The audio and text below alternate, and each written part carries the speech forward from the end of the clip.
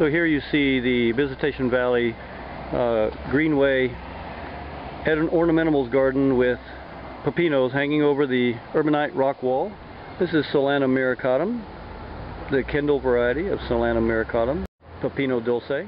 You can see lots and lots of fruit hanging off of these and most of them are still unripe but we have picked a few ripe ones, or almost ripe. Ah, here's one. This one's quite nice looking. A little bad spot on it but that can be cut out but they're soft like a ripe tomato. It is in the tomato family. It's a relative of it, Solanum muricatum. It's a different, it's closely related to potato, Solanum tuberosum. It would be nice to crossbreed Solanum tuberosum with Solanum muricatum and see if you can get an edible potato uh, with edible fruit. This is the Kendall Pepino Dulce. I raised it myself from seeds that come from um, Berkeley Bowl in Berkeley. They were imported from Peru years ago.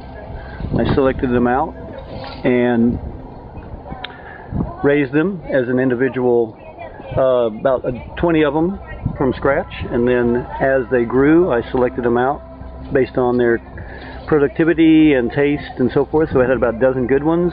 And then the survivors came down to this one after quite a few years, growing in many different habitats and sharing them as cuttings with different people. And now this is the Kendall Pepino Dulce, Solanum muricatum.